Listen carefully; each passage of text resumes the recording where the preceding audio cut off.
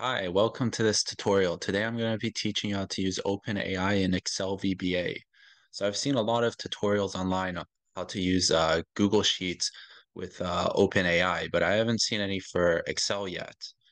Uh, so I hope this video is going to be helpful for, for you. So in this tutorial, we'll be uh, using OpenAI API to generate responses in Excel VBA. We'll be using the Text DaVinci 3 model, which is uh, uh, if you don't know, it's a state-of-the-art language model developed by OpenAI.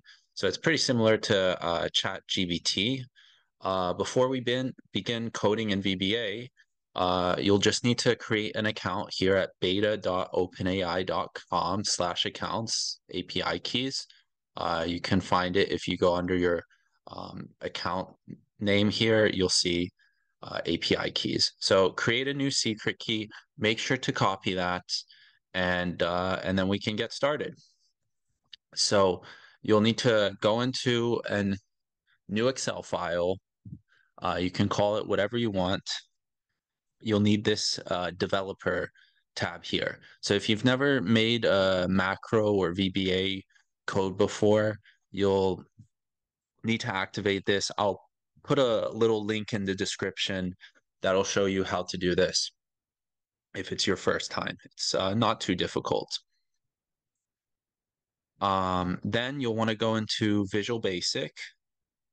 So you see this Visual Basic, and we're going to create a new module. So click Insert Module. All right, so this is our function in uh, VBA. You can either have a function or a subroutine. Uh, we're going to be making a formula. So uh, it's just like, you know, when you use sum or whatever else, but this one we're calling OpenAI. So you write equals OpenAI and you'll put your prompt in here. Okay, so we uh, made a bunch of variables here that we're now going to use. All right, so since I don't want to give my API key, uh, you just insert whatever your API key is that you got at the very beginning when you made your account here. Okay, so you'll need this uh, URL, and you can see within this URL, you have um, it's an endpoint, but within it you have the engine that we're using. So we're using Text DaVinci 3, which I believe is still the most powerful um, engine available. But there's other ones that you can experiment with as well. Okay, so this thing is uh, this MSXML2 uh, create object thing is used to send the request to the API and then receive the uh, response. So we then need to open it. So we'll use uh, response dot open and then post. Okay, so we just added these three lines. Uh, so this is telling it uh, that uh, in JSON, the body, and then this is uh, to give it the API key. And then last, we just have our prompt, and uh, we're also going to set the amount of max tokens that we're allowed to use there.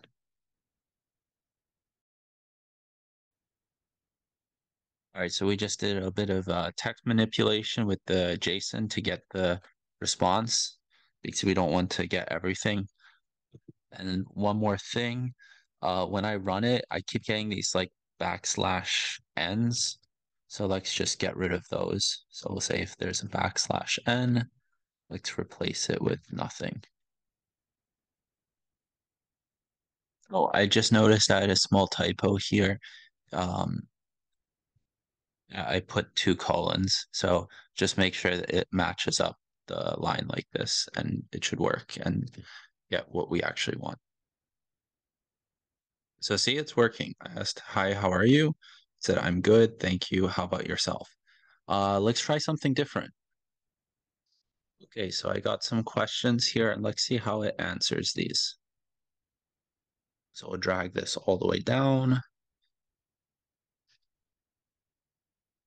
And give it a little bit of time to uh, refresh. It's a little slow-ish for me. So it's generating the responses to all of these. And um, let's have a look through these. Why is the sky blue? The sky's blue because it is scattered by the gases and particles in the Earth's atmosphere. Why does the moon appear in daytime?